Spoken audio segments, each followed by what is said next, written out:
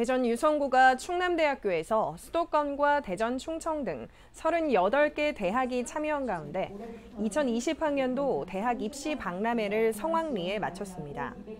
이번 박람회에 참여한 대학은 한밭대와 공주대 등 지역 대학들과 서울시립대, 숙명여대 등 입시 설명회가 진행됐습니다. 또한 개인별 입시 상담과 전공 후 진로 방향 등 학생들이 궁금해하던 사항에 대해 알아볼 수 있는 대학별 입시 상담 부스가 운영됐습니다. 예, 이번 대학 입시 박람회는 우리 지역 수험생들이 어, 변화하는 입시제도에 대비해서 효과적인 대입 전략을 세우는 데 도움을 주고자 마련됐고요.